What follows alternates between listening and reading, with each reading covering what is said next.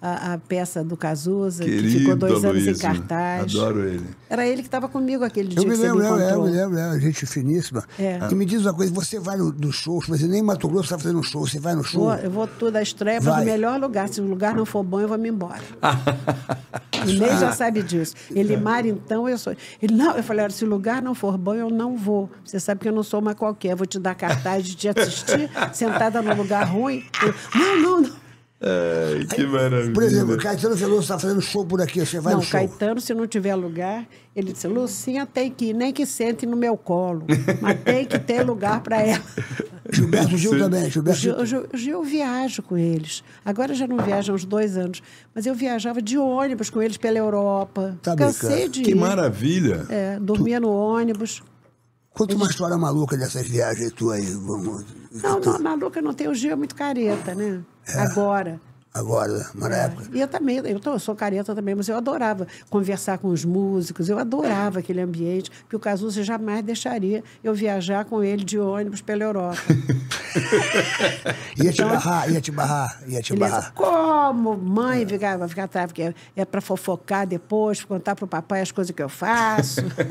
Mas essas pessoas você já conhecia antes, né? Não, eu conheci Do- do- o Gil há muitos anos atrás. O Gil. Antes de- do Cazuza Quando ele estourar, chegou ao né? Brasil. Não, quando ele chegou ao Rio, né? Vindo Hum. da Bahia. Porque o João trabalhava com isso. É verdade. João Para mim não tinha assim. Marlene, eu costurei para Marlene, eu costurava para fora. Marlene, né? de Emilim, Marlene, Marlene, Emily. cantora? A Emilinha eu não conhecia, mas a. Marlene eu costurava para Ela ela. era ótima. A Elisa eu costurei muito para ela também. Puxa, peraí. Cláudia, cantora. Tu fazia o quê? Evita. Costurava para fora, ganhava uma grana Ah, mais tu que o costurava? João. Você costurava? Tu Eu é ganhava costureira mais que também? o João. É. O Pô, João, tu é- eu ganhava o triplo do quando a gente casou, eu ganhava três vezes mais que ele. Que isso, bicho? É mesmo? Olha só. Modista. Dava moral pra ele assim? De, de, de, dava mais? Lógico, claro. Guerreira mesmo, hein, A bicho? gente casou na base de dividir despesas, senão não podia casar. Ele trabalhava na Copacabana Discos, era divulgador. Era que ele pegava o disco, botava debaixo do braço, pegava o bonde e ia para as rádios pedir para tocar. Caramba, Olha isso, isso só. aqui é legal. É. Eu me lembro E o disso. aí. Cazuza depois tentaram, vocês tentaram botar ele de divulgador, Não, né? não. Ele, divulgador, ele só queria divulgar quem ele gostava, tipo a Sandra Sá. Era- então tomavam porre, na hora de divulgar, bebiam os dois. Foi, divulgador, da, foi divulgador da, da, da, da gravadora, o, o Cazuza? Começou como Foi, ele divulgador? começou na Som Livre, porque não, não queria mais estudar, vai ter Eu que fazer alguma livro, coisa. Eu ria mesmo. Eu ri. É. E como é que muito era? E engraçado depois ele fazia história. release, aí eles faziam uns releases. Ele e Lulu Aí se Santos. tiver fazer bem. Ele e Lulu. Lulu também trabalhava lá. O Mas- Lulu, eles faziam seleção de repertório. Você mandava a fita e eles selecionavam para entregar para o produtor. Tá brincando. É, ele e o Lulu. Cazuza e Lulu. Você pegava uma fita e essa, É, essa aqui é boa, essa aqui é escutava não sei quantas fitas por dia.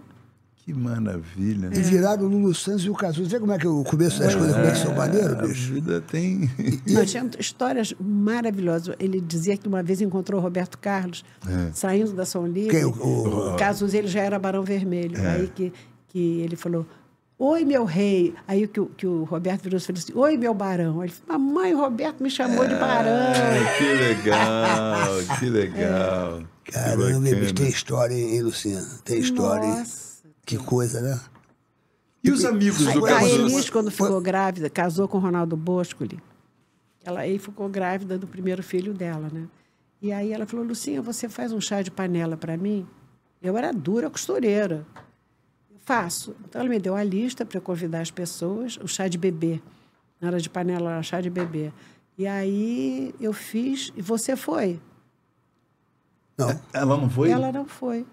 As pessoas foram, levaram os presentinhos, tarará, eu fiz o chá e ela não vai comparecer. A Elis não foi? A própria... Esse pessoal é completamente doido. Você, quando vai se dedicar, eu não sei, diferentemente, por exemplo, o Gil não é louco. Pode já ter sido, mas o Gil, eu sou mais certinha, toda quietinha, fica tocando violão, Jingle Bell, Jingle Bell. Eu passei, eu passei uma temporada com eles em Salvador. É, é? Eu acordava de manhã, estava o Gil sentado no, no sofá, Jingle Bell, fora do Natal. Jingle Bell.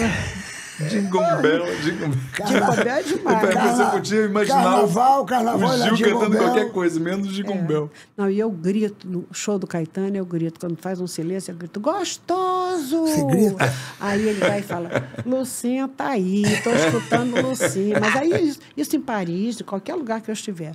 Aí, agora em, em Portugal, eu gritei pro Gil. Quando fez um silêncio, e eu gritei, gostoso! Porque ele falou, você nunca grita gostoso para mim, só pro Caetano.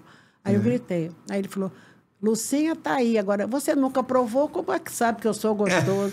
Isso lá naquele... Como era o nome do teatro? né, No, no Aquele famoso lá em Portugal. Coliseu. Coliseu. de Lisboa. O pessoal de Portugal tá mandando beijo pra você É, aqui. tem pessoas aqui de você é Portugal mandando. E, Verdade. e Rita Lee, o- o- você chegou a conhecer a Rita Lee? Se você A convivia Rita, com a... muito. Muito. Casou, tem música com ela. É Isso parceiro. Perto do fogo. Ele fez uma música falando dos cabelos vermelhos dela e ela pôs a música, ele fez a letra. Que eles, eles não se Perto entendiam E do. Rita foi João que lançou. Foi o jogo que lançou a Rita?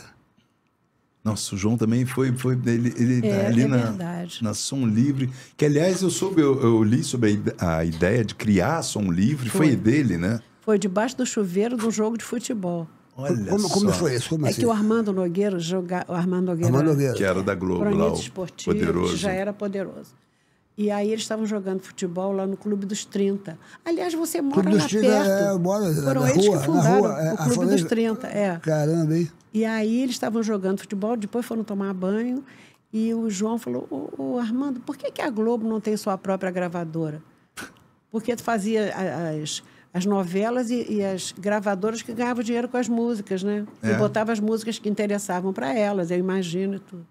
Aí o Armando falou assim: Ah, eu não sei, porque meu negócio é jornalismo. Por que você não bota isso no papel, que eu vou marcar uma entrevista com o Walter Clark para você ir? E aí ele passou uma semana escrevendo, escrevendo, escrevendo, e foi, encontrou o Walter Clark. O Walter adorou a ideia e fundaram a Sou Livre. Doutor Roberto era ma- majoritário, como sempre, 51%. Tu era conheceu o Roberto Marinho? Muito, muito. É mesmo, né? Eu não conheci o Roberto Ah, Marinho. ele eu entrou tinha- como sócio também tinha na- vo- na- na- tinha não, não, ele de- entrou como funcionário. E os sócios eram os diretores da Globo, Zé Otávio Castro Neves, Entendi. José Ulisses Arce. E ele virou eles. presidente, tocou. o- Não, ele não era presidente ainda, ele era o criador lá, não sei o quê. Mas no primeiro ano fez tanto sucesso, porque aí o João partiu do né? princípio, pois é, por que, que a Globo não, não, não ganha sozinha? né? As gravadoras A dividem com a, coletânea, é. né? Da- da- E aí aconteceu isso. E Som Livre, o nome foi porque tinha Som Livre Exportação, era um programa de televisão. Tinha de manhã. Aí aproveitaram esse nome Som Livre. É né? verdade. É. Como é que era o Roberto Marinho, assim? Porque eu, eu tinha maior vontade de conhecer o Roberto Marinho e eu não, eu, eu não Não, eu conhecia o tenho uma Roberto história Marinho. com ele maravilhosa. Conta, pra gente, conta pra gente. Uma vez eu estava. Se lembra do, do Walter Sampaio? Walter Trabalhava Sampaio. na Globo. Não é do teu tempo, você é muito moço. Walter Lacer. Não, Walter Laceu era outra. Já é outra. Walter Já. Sampaio. Tá. Ele era o cara da alfândega que trazia as coisas para a Globo, não sei o quê. E ele fez uma festa na casa dele e o doutor Roberto foi, né? E aí teve um momento que eu me vi sentada no sofá com o doutor Roberto. Ele falou: qual é o assunto que eu vou ter, meu Deus do céu? Aí tudo que eu falei, ele falou que não era.